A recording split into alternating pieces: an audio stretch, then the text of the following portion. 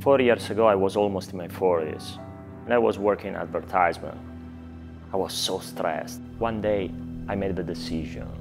I quit my job, I sold my car. I bought a flight for me and my family, and we went to India.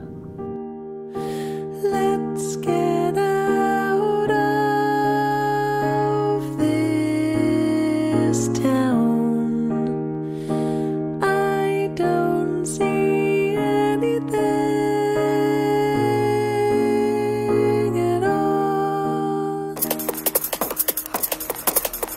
My idea was to go there, practice yoga, spend time with my family. We arrived in Mysore, the birthplace of Ashtanga Yoga. I was so inspired when I saw these amazing practitioners from all around the world.